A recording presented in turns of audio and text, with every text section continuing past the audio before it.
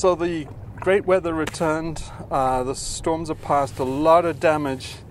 Uh, we set records for a week, a week's rain, a EU record for a week's rain here. Um, absolutely torrential, and uh, going down the beach um, yesterday, the all these uh, animals that really came down from the mountains. They were washed down in rivers and then washed onto the beach.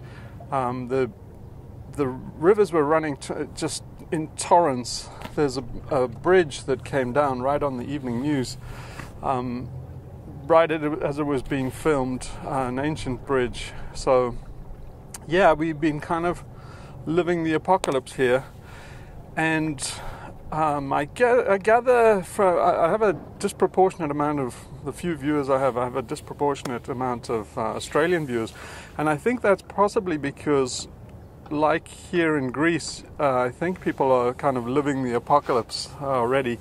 In America, I think people are. It's kind of a winter wonderland, and although they've got extreme weather, it doesn't quite feel like uh, climate change and Armageddon yet.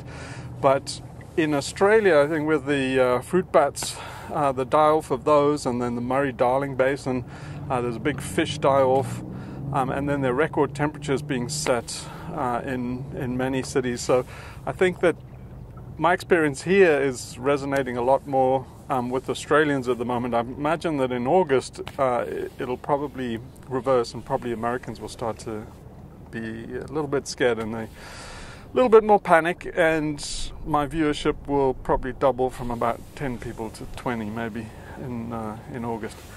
But anyway, this video is a request um, from Big Gav and uh, the Going South tribe in Australia, and I'm more than happy to do this video. What he, what he was asking for is to just go over my uh, epiphany moment when I realized it's too late for digital democracy. All these things are, are too slow for abrupt and imminent uh, climate change catastrophe, really, is what we should be calling it. Yeah, so, so this video is, is more than a joy for me to do because uh, it's been a really lonely journey uh, for me the last five or six years. Um, and I would love to share it with you because I've really shared a lot more on public videos than I have with the people around me and even family. Um, they just not ready to hear it. Um, and so I've been wrestling with with this for, for a long time. Um, I've sort of been traveling in the path of uh, uh, Guy McPherson, although he's been much longer on this road than me. Um, so you know, I think he was in 2002 where I kind of got to in 2013. But anyway, so my uh, my epiphany uh, and and anyway, yeah, this is really cathartic for me to actually spill my story. So yeah, might be a little long-winded, but ah, it's therapy for me. So yeah, um, I think maybe you'll find it interesting too. Uh, it seems to be a kind of fascinating journey f- from my point of view. But then I'm not sure how it comes across uh, to to an audience. So anyway my big epiphany, I think, I think it's what Guy Guy Lane calls the eco epiphany. Uh, basically, the moment when you realize that we really are all screwed, we don't get out of this one, and that that really happened in December um, 2018. So it's the first of March 2019 today. So it's you know just a few months ago, uh, and yeah, I, there really were two eco epiphanies I had. The first one was around 2012, 2013 and the reason for that one was I was I've been watching the climate science since since the the early 90s. Um, you know, I was commuting in London, and I had a two-hour commute each side of the day. So I had about two hours to sit on a train and read, and I read New Scientist and um, uh, subscribed to Nature and that kind of thing, and read these scientific journals on things like climate change. And so I've been watching the progress of the story from the scientist perspective, reading, reading occasional uh, papers, scientific papers on, on it. Um, but increasingly, I was starting to see a pattern. So now I'm a computer programmer, and so I can second guess, you know, what they're, they're doing. And what I saw increasingly happening as each IPCC report comes out is I can see that the models are too linear. So they keep on chasing where the data is. And you can see graph after graph where they adjust their model slightly and then it's much worse than they think. And they adjust their model slightly and it's much worse than they think. And I'm looking at this, I'm a computer programmer, I've done a lot of modeling of these kind of things, as I mentioned, and I'm starting to see this pattern. I'm saying, like, it's going exponential. It's going exponential. Can't you see? There must be feedback loops. And nobody's really seeing this. Um, and then uh, I can, I, you know, read Gladwell's tipping point and all of that, and so I'm ready for all of these tipping points, and starting to wonder if we haven't passed the point of no return in a, in a number of number of ways. Um, by about 2012, 2013, I really thought, okay, I've, i know exactly what they're doing. They haven't got the fact that it's uh, a, a, real big positive feedback loop, probably coupled with a, a few feedback loops, and I don't think they're hiding it. They're doing what a lot of physicists um, and modelers do, and that's I've seen uh, and had enough involvement with them to know that there's this kind of pattern where if you have to publish, uh, there is a kind of Overton window of what you can actually legitimately publish in a scientific paper, and you know, so they, it's kind of their Overton window. So what physicists are very used to doing this, and mathematicians too, is you routinely run calculations and formulas, and they run off to infinity, either positive or negative, and then you just go, ah, okay, well that's that's a pathological case, so you just put it aside. And I realized climatologists were doing exactly the same thing. They come, they must have run models that just run off to to infinity quickly, and to a climate scientist, that's a career ending move to put a paper out like that. You're basically saying, oh, guys, uh, you know, according to my model, this runs off to infinity, and by 2030, we're all baked. And then, you know, all the established PhD psychopaths would come and, and you know say, "Oh, that's a rookie mistake. You've you know your model runs off to infinity.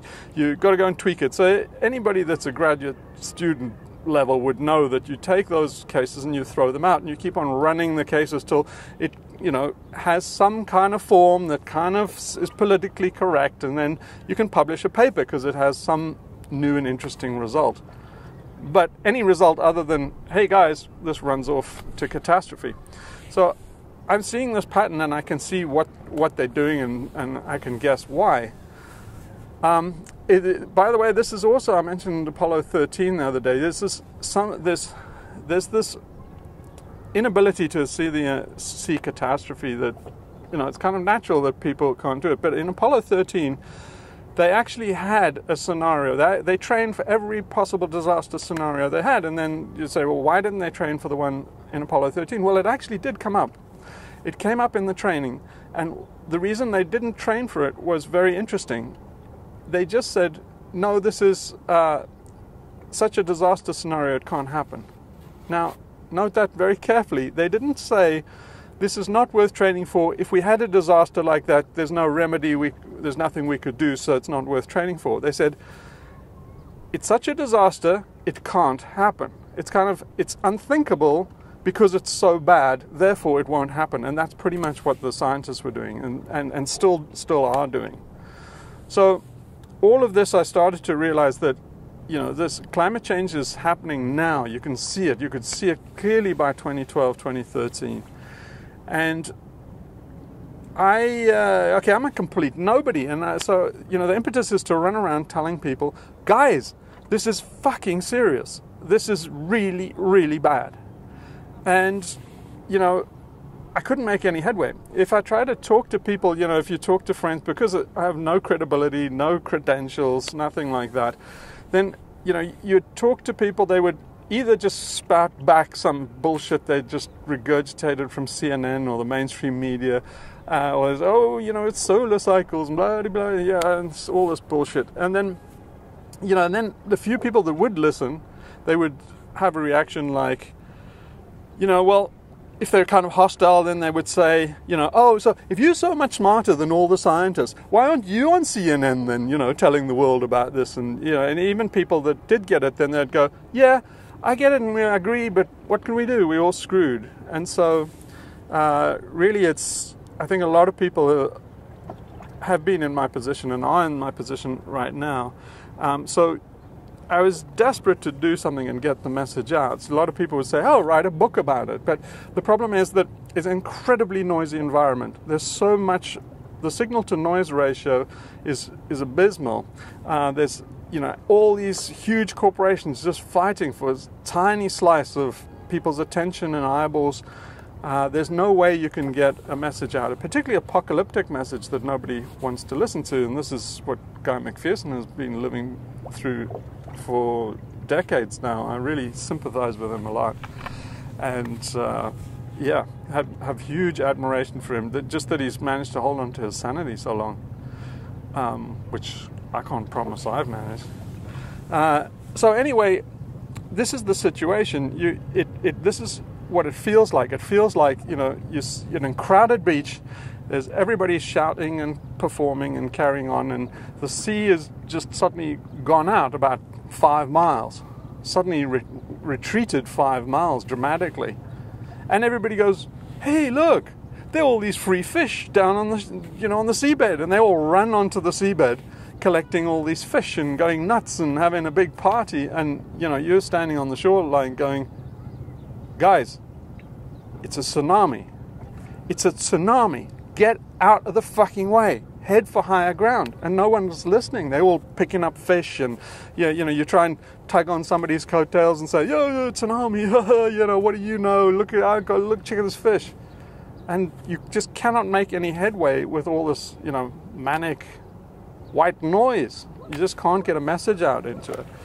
Now you might think uh, well yeah well why don't you just head for higher ground yourself and you know screw them see, I'm an older guy. I'm a, I'm 53, and you know my kids are in this crowd that's going nuts, and you know all the people I know and love. It's not big on my agenda to save my own skin at the expense of everybody else.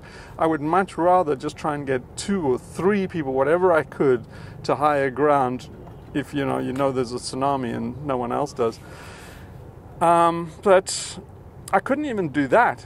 So it seems absolutely hopeless, but uh, yeah, I've, I've got an interesting background, and so, and so it didn't seem hopeless to me because there is a way of getting a message out. Uh, so the, the way it's not quite like you think. In a white noise environment, you can get a message out because it's not a completely random environment. Our environment now looks completely saturated with everybody's messages and advertising and political angles, and everybody's got their angle. They're all fighting for attention in the media, and it seems like it's a completely white noise, unstructured environment. It's not. It actually has structure. So, if it has structure, there's a lot of hope for getting the message out. And so, what I knew from network theory is that the structure of this madhouse environment we've got is actually a scale free network. So, what's a scale free network? Well, if you, an example, a good example to explain it is one that some people give is they just say you get a pile of, of paper clips, just put them all in a pile on a desk and pick one out at random. Then pick another one out and couple those two together, drop them back in the pile. Then pick another two out, couple them together and drop them back in the pile. And you keep on doing that iteratively. Eventually, some will have been already connected and they'll get longer and longer. And what you're building, you eventually find that you have what's called a scale free network. What does that mean? It means that some of these paper clips will be preferentially connected. And it will be on a Pareto distribution. That means an 80 20 rule. So it'll be like 20% of the paper clips you'll eventually find will have 80% of the connections. So, you, it's not a question of getting the message out to everybody, like it seems at first, just shouting over the crowd, Tsunami, get out of the water. It's really a question of finding the preferential nodes and getting a signal through to them. That's quite a doable task. So if you, I read up on papers on network theory and found, well, On a scale free network, you only need to own about 5% of the nodes at random, which is a surprising result. You just pick five of the paper clips at random, and you will, in, in that, have a very high probability of having enough nodes to control the whole network. So that means you can put a message out with controlling five networks at random. Not, not the key ones even. You don't even have to find the pressure. You don't have to, you know, take control of the Wall Street Journal like Bezos and these guys think. You can actually just take, you know, five percent of the population on the street almost, and you can propagate a message through them. Now, I realized reading that paper that the because it's a scale-free network, I realized something that the guys that did the paper didn't realize, and that's well, it's scale-free, so that you take those five percent, you can do it again. You can take 5% of that and you can control those. You can control that to control the 5% and keep propagating outwards. That was something that they missed in that paper. Now, you might think, well, how small can you go? Eventually, you're going to get to, to one node, and then you're just back to being the guy in the crowd shouting tsunami, and you, you haven't got anywhere. Well, it's, it's not quite like that. Getting a message out in a crowded room is, you have to think of it more. I'll give you another analogy. Imagine you're in a disco and it's you know mammoth one with lots of rooms and there are lots of DJs playing different things in different sections and people going nuts and getting drunk and there's you know pyrotechnics here and lights here and it seems like an impossible mess uh, it seems like impossible to get out the message to people say guys there's a fire we need to get out you know you try and put that message out, and the guy says, "Oh yeah, come on, baby, light my fire," and you're like, uh, "Yeah," he said, "Have another drink, dude," and say like, "Lighten up," and you know, you get all of this kind of negative feedback from putting out a message that's a really serious one. Fire, we need to get out of here. Um, but you know, it could drive you mad trying to get a message out like that unless you actually know some of the theory. And so, and here's another piece of the theory. So, in that kind of environment, when you pick the nodes, you can take a bet, and that's kind of what, what I was doing is it's very unlikely you're the only person out of 10,000 that knows that the th- that the uh, this disco is on fire. Uh, so you know this, the club is about to burn down. It's going to be a disaster uh, it's very likely that there'll be other people that amongst the crowd are doing exactly what you're doing. They know there's a fire and they're trying to warn people and that they're not being successful. So really all you have to do is hook up with those people. You can do it almost by line of sight. You know, so imagine this. You're in the club, masses of noise. You just have to scan it for people that have got the fact that, that the place is on fire. You'll soon pick up, say, Alice over there and Bob over there. And because they are tuned in to the wavelength that the, there's an emergency, you can get eye contact with them and you can say, Alice, you got it. Fire. Yeah, yeah. Bob, fire. You got it. Okay, okay. Stick with me. This is what we do, right? You can do all of this by hand gestures across a crowded room. And you'd say, like, okay, you know, pick up this drumstick or pick up something that you can beat with and you got it? Okay, you ready? On my count. One, two, three, boom. Okay, again one, two, three, boom. And then all three of you can basically do this signal. And if you start getting a rhythm going like that, that counts in communication uh, theory as a signal.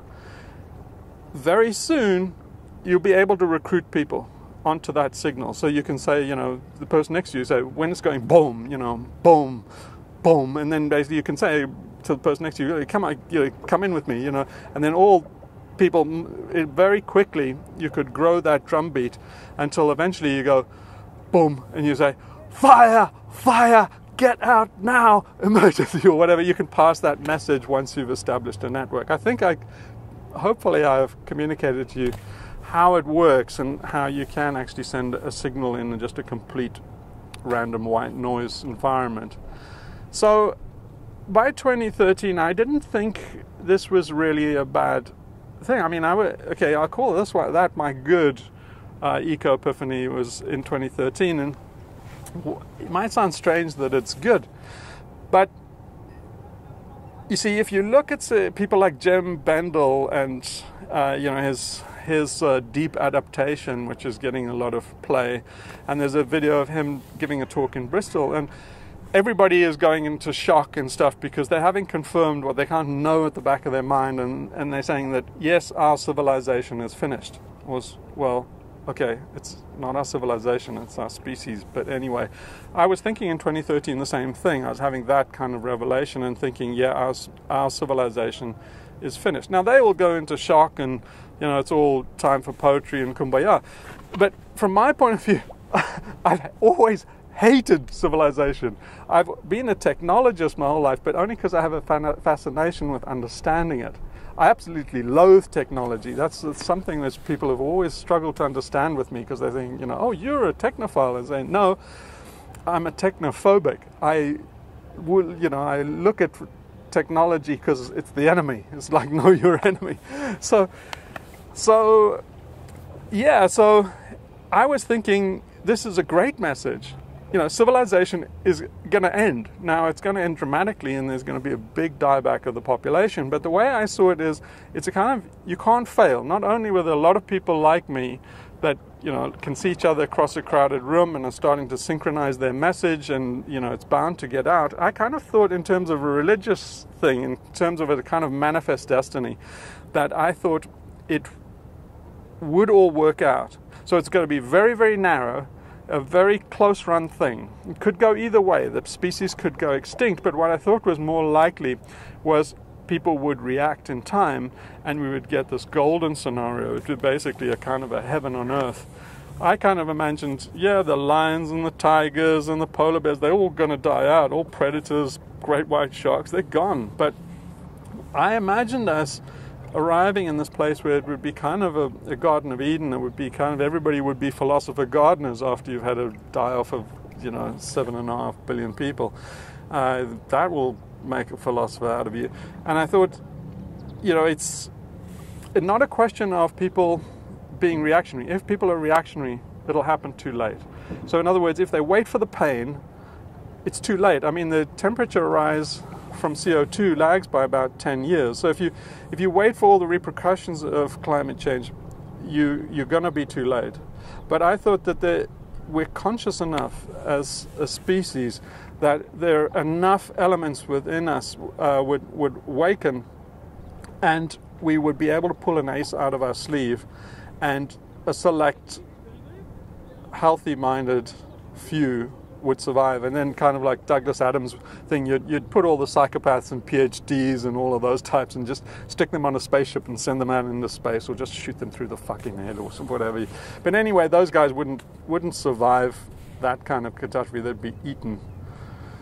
Uh, so I was celebrating it because I thought this is this is a predestiny. It's kind of a teleology that this is how yeah, I, it was kind of, I thought of it in terms of a kind of a phase change in consciousness, and then the few people that survive, you know, are in heaven. And long ago, I wrote, I've written a lot of books to myself that I never bothered to get published, and uh, one of the half-finished books I got was, it was called Heaven is a Place You Walk to, and it was really promoting this idea that you, you know, that there's a path and you can, you can just walk, you know, to heaven uh, and you can walk to hell just by sticking with civilization and going down in flames with it. So, kind of, you know, the people that stick with nature and head back to nature and, you know, get sane would win out, and eventually the mad people would die off. They would kill each other off. That's kind of my thinking. Um, and so, yeah, I was thrilled. I've been the most positive person known to man in the face of, a, of my first eco epiphany.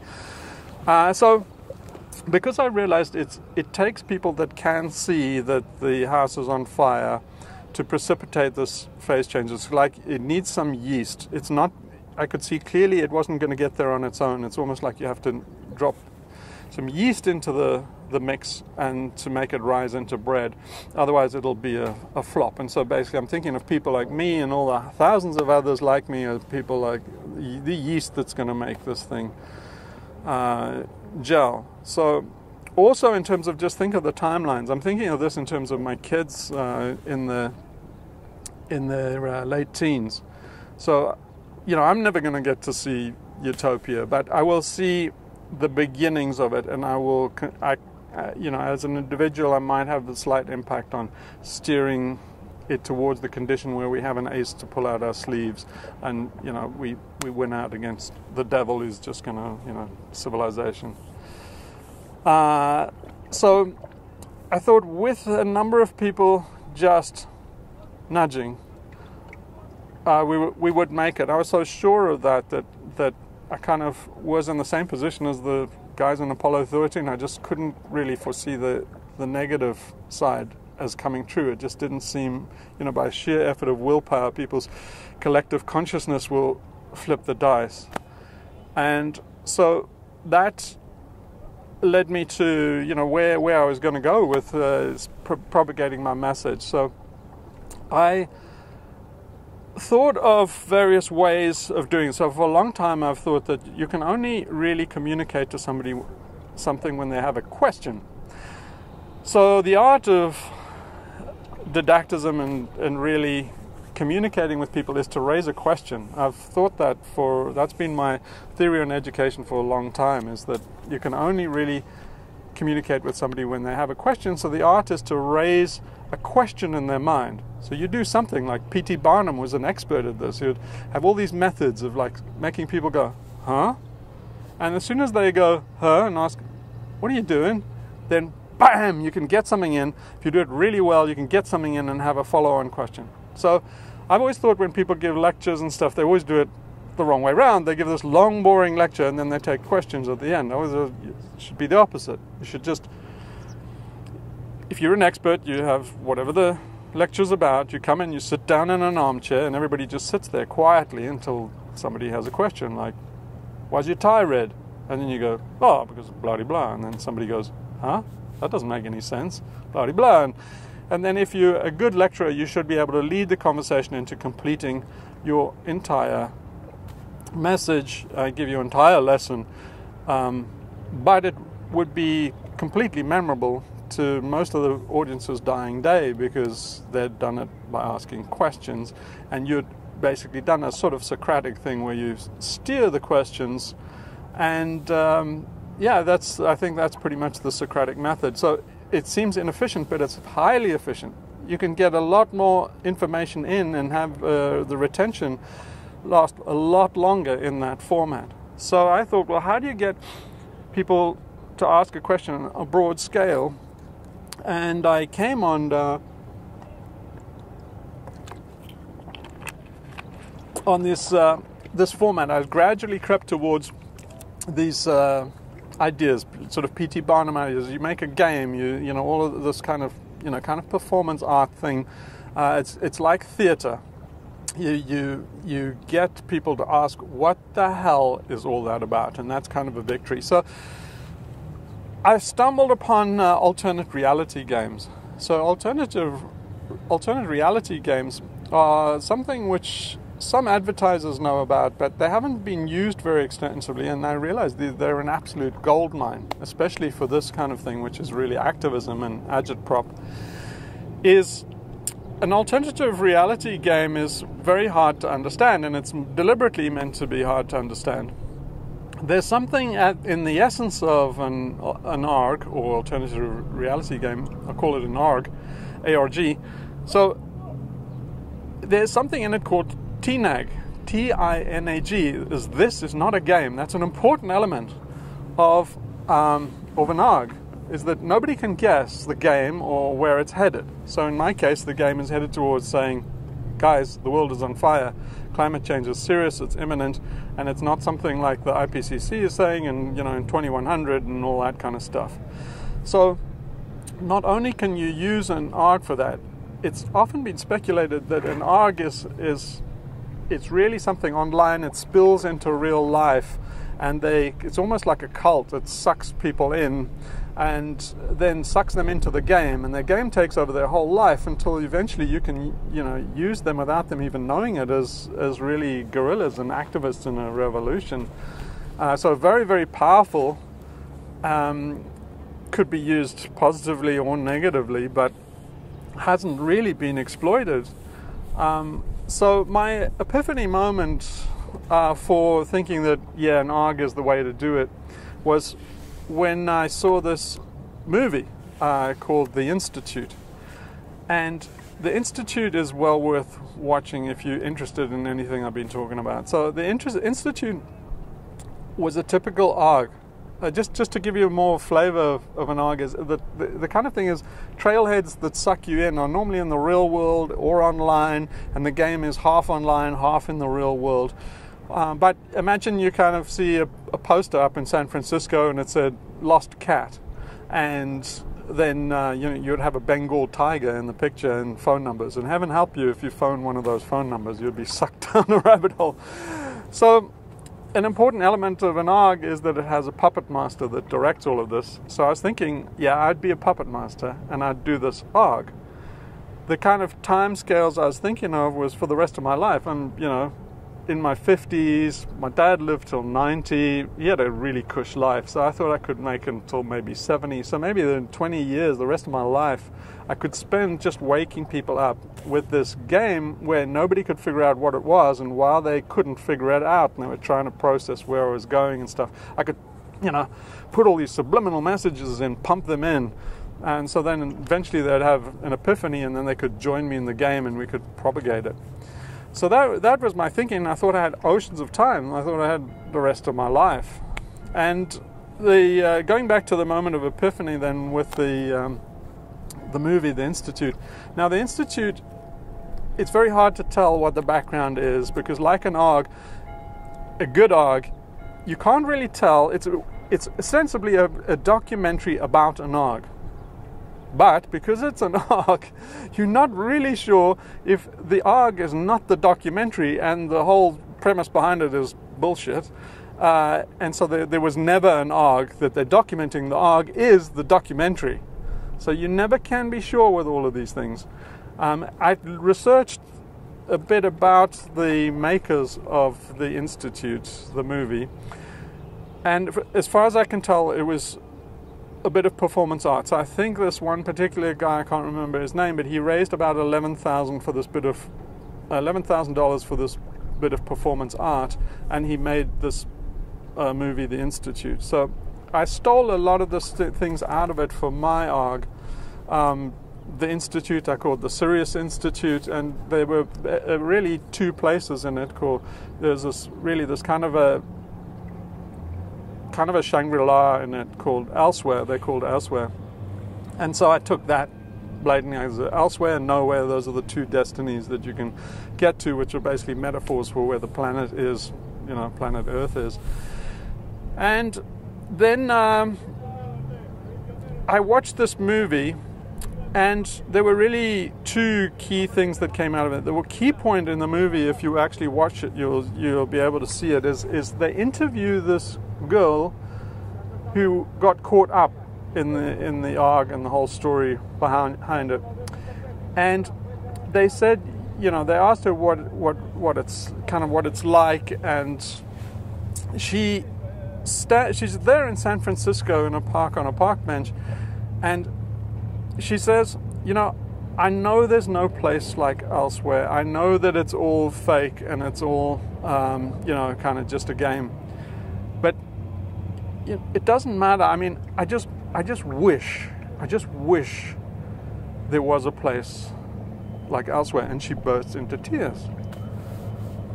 And for me, that was kind of like the producers. That's like Bialystok and Bloom, and I'm, I'm looking. I've been looking for my Hitler, and you see the worst Hitler you've ever seen in your life, and they go, "That's our Hitler." And I had that's our Hitler moment because I realized how many, as an advertiser, say, or somebody pushing a message, how many people do you know that you can get that will burst into tears just talking about your product? So I realized that this is is more than dynamite. It's fucking nuclear uh, and so I decided to launch my own ARG. I, I spent about five, the last five years doing it. One of the things I realized, um, the producers of the Institute movie that did this kind of performance art thing, one of the things I realized was they got that 11,000 and they blew through it. And I realized, why? This thing could generate money. I thought, you know, it could be self sustaining. You could grow it organically uh, I thought this is it. this is how I will get the message out. Um, so I thought, uh, yeah, Bitcoin. I mean, I hated Bitcoin. I, I knew from my background and a few other things in my past that that uh, Bitcoin's just an NSA sting operation. It's it's not what everybody thinks. So I thought I'd do a complete anti-Bitcoin. So I did wherever say Bitcoin is decentralized, I'd make it centralized. Whatever you know, whatever the blockchain thing was, then I would do the opposite. And I made this currency called Geodough, and it's out there still and not used. It never got to the point where I could launch it and use it, but I did that one first, thinking that we'd run this all with a currency, a fake currency, which you know also has real value, so it could really sustain the ARG and be grow it organically. So um, yeah, I did. I did that. I finished that uh, the Geodough. Uh, then I wanted to do two websites. So a white hat protagonist and a black hat protagonist. I did the black hat protagonist, which is the Sirius Institute, and uh, the website. I did the website, and that character, Lord Hugh Dunbar, uh, that's me. Um, and then I, you know, would have um, the Neocortex Foundation and uh, Dr. Neo van Cortex. Kind of joke thing, but also kind of serious and always keeping people guessing. Is this a cult? Is this a recruitment thing for the NSA? Is this an advertising thing? You never keep everybody guessing, keep everybody guessing while you move it along. And then also uh, a news website, you know, fake news website called the, the Happy Puff Post. So I thought with those four websites, I could run this ARG. And so I got into the the first one I completed, the Geodough one, then I got into the Sirius Institute, and then I was I thought I'd promote it with these videos. So I made videos throughout last year, all the way up until December.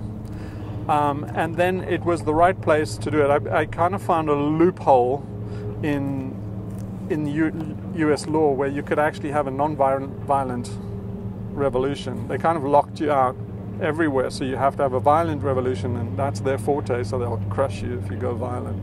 But they kind of left a kind of loophole in uh, basically internet de- democracy, and so I made the video. I made all the run up to that, and made the video. You know, escape. Um, the American Spring, you know, escape fake democracy. That's uh, that video thing was episode five or six, but the uh, yeah, I got to that, and I thought that's a correct place to stop um, and start promoting it. So I went out on social media for the first time since 1997. I had one encounter with social media in 1997, and it was in chat rooms. I went on went into the chat room and thought, oh, this is great. You know, you can connect the world and talk to people in different places and get different perspectives and hear what foreigners think about us, and wow, this is the most awesome thing possible. So I went into my first chat room and I connected with the first person uh, and I said, you know, hey, can you tell me how things work around here? This is the first time I've been on a chat room.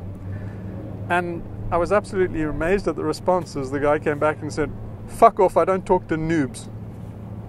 And I went, whoa, okay, that took me by surprise. And that inoculated me completely against social media because what I realized is it's just a prison yard. I realized straight away it's a prison yard. They're exploiting everybody commercially. So I told other people to stay away from this shit. It's it's for keeps. They're going to use this data. Um, they're going to mine it. Uh, it's just for advertising, and um, you know, one day you're going to regret stuff you put out there. And of course, nobody listened to me as usual. Uh, and then know, so but I held my nose and I got back into social media in December because just to promote these videos. And I went to, I asked my kids what I should go to. I thought maybe 4chan and stuff was kind of speed of an ARG. Um, my kids told me, nah, don't do that. That's all going to pieces. And I went and checked, and it is. And um, they said, go to Reddit. So I went to Reddit, and the subreddit I went to is what I considered home territory for me, and that's anarchism.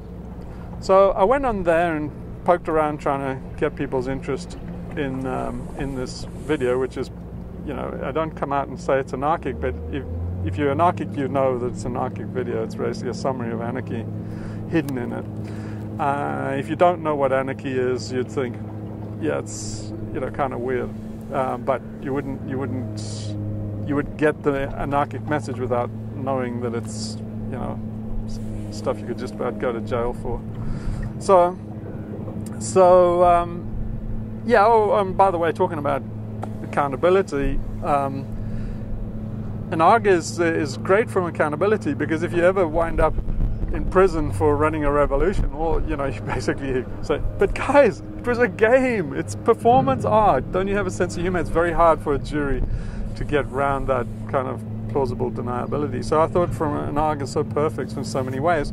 And I didn't realize that, you know, anarchists wouldn't see it that way.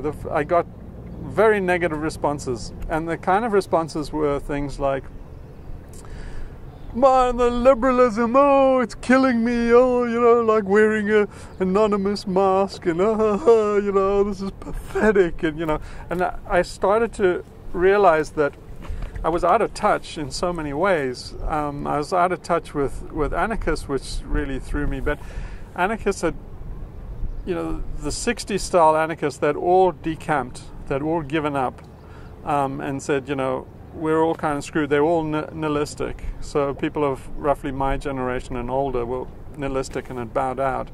The newer generation was hopeless, absolutely hopeless. I suddenly realized that they, you know, people would say, you know, oh yeah, but it's okay for you, rich white guy. Uh, you know, what about, you know, you're not thinking of, you know, gender issues and people of color and LGBTM and stuff. And it's like, guys, we are way, way beyond your precious little identity.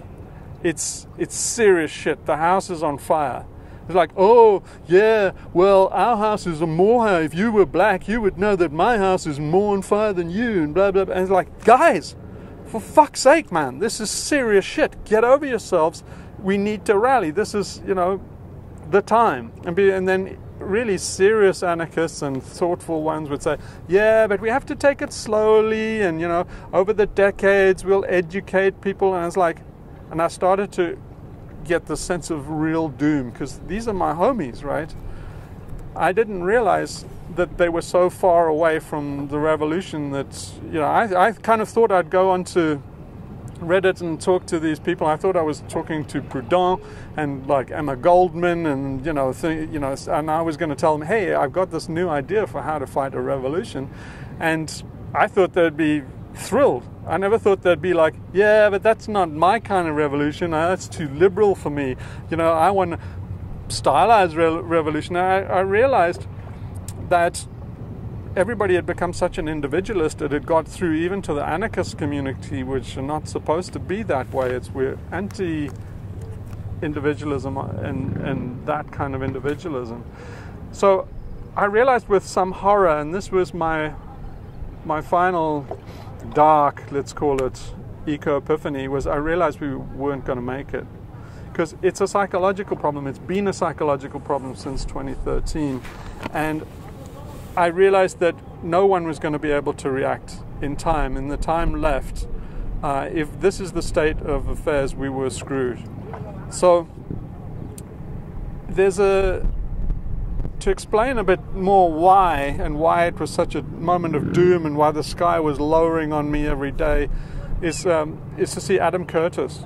So Adam Curtis was um, made this documentary called Century of the Self about the 20th century, and particularly about Eddie Bernays, uh, who's um, I think a first cousin of uh, or nephew. Yeah, his uncle is uh, is Sigmund Freud. He took Sigmund Freud's idea and he shaped the 20, 20th century. Um, undercover, nobody really knows that he did it, but he the reason why you are the person you are today is because of Eddie Bernays. And by that I mean, you know, you're an individual and important like everybody else, and you know, you have lifestyle choices and you're a consumer and a valued consumer, and your vote counts and all this horseshit that's an absolute lie. It doesn't count for peens. But the reason why you think like that is because of Eddie Bernays. He he set this up after the war, although he used wartime propaganda from the First World War, rolled over to the Second World War, and the establishment was really, really worried after World War II about controlling the masses of people and the you know the population was set to explode. And they really thought that this was a crisis. So a crisis of management. So they Eddie Bernays explained to them how to do crowd management. And the first thing was to basically atomize people. So you get rid of all the syndicates, you get rid of all the um, all the unions, any you get rid of the family, you get ri- rid of uh, or have a nuclear family, which just fits nicely into the hierarchy. But you've got to get rid of tribalism. You've got to, you know, use all these trigger words to get rid of tribalism. And uh, they did it systematically. And if you're interested in that, you should see Adam Curtis's uh, movie Century of the Self. And essentially, what it is, you make everybody selfish, you, and that atomizes them. They're all selfish, atomized consumers. Really, Adam Smith's uh, dream, wet dream, nightmare. So they were incredibly successful, so successful that they'd got anarchists. And then you can go in there and say, like, people, you know, they wanted to have, yeah, they they wanted the anarchist revolution tailored to be like how they wanted, and they wanted a gilt edge, you know, invitation to go, and it had to have, you know, conf- confrontation on the streets with police and stuff. Otherwise, it wasn't a real, uh, and it's all this kind of self-defeating bullshit. And I started to realize if I can't get anarchists to see that I've just handed them basically the keys to basically the gates of the castle, we really are screwed. And so it was a, a hard blow uh, to realize that there's no ways people are going to wake up in time. So I, it really threw me. I mean, it, I haven't recovered since. I'm still in a very fragile condition, but I um, yeah, I'm, I'm not really sure what to, to do and where to go after that. But I spent January after I had this revelation, kind of like over the New Year period. I kind of thought, well, my whole life plan has been tossed. My, all my prepping and everything that I'd set myself up to do, it was all gone in a kind of a flash. And I spent January going over, making sure I was absolutely sure of my facts. And as I went over them, it just got worse and worse. And I realized, if anything, I was I was ludicrously optimistic in my pessimistic evaluation by 2013. There's so many tipping points that run away. And then, yeah, eventually I got around to the McPherson paradox, which I kind of knew about global dimming, but it just didn't register uh, like all these things. And yeah, when it finally registered, I realized, you know, I'd, I'd, always assumed that it was a matter of a psychological thing. You're getting people to turn around, step on the brakes, and we'll, we'll, it'll be close, but we will wind up just teetering over the brink. The vehicle won't go over the cliff. Um, then I realized, no, we really are going over the cliff. There's no way. And then by the time I got into realizing, you know, re, reconnecting, making that connection, two separate frames, global dimming, global warming, I made that connection, was just never made it before, and realized, okay, so even if we stepped on the brakes, we're doomed. So, yeah, then I started making these videos, just kind of thought, ah, I can't kind of tail off right then. I need to explain my story.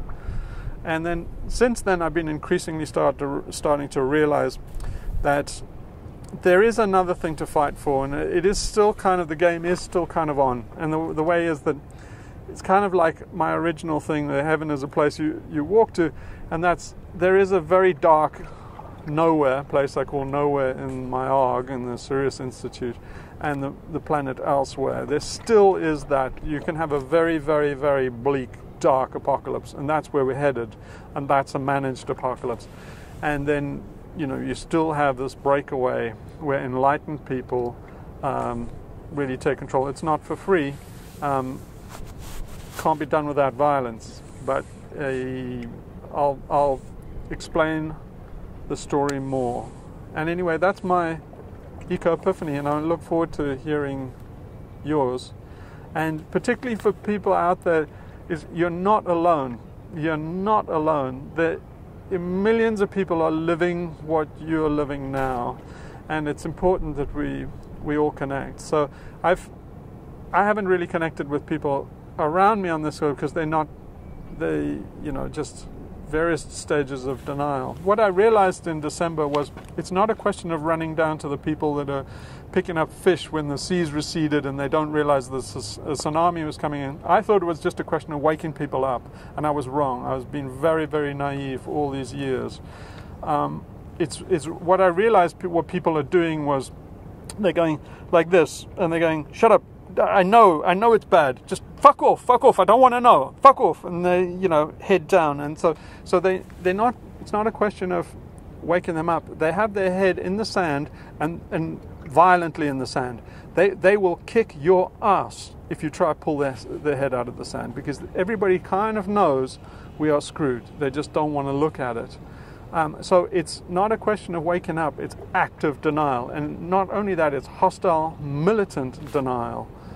Uh, so if you're feeling that, yeah, you just have to live with it and you need to start connecting, um, you know, with people like Big Gavin, you know, the, the Going South uh, tribe and network. So we, we need to, to connect and um, and so we, we need to support each other. But that doesn't mean you can communicate to even your spouse. I was I failed completely to communicate this to my spouse, even my kids, my close family. Um, yeah, most of the members of my family won't watch these videos because they know exactly what's in them, and they don't want to hear. So, yeah, it's. Uh, there's still a long, long road to go. Um, it's not imminent catastrophe uh, is almost upon us on the clock. But in terms of psychological development, it's lifetimes. Lifetimes will be compressed into this short time we have. So, again, pick your comrades carefully. And that's it, that's my story. I'm dying to hear yours.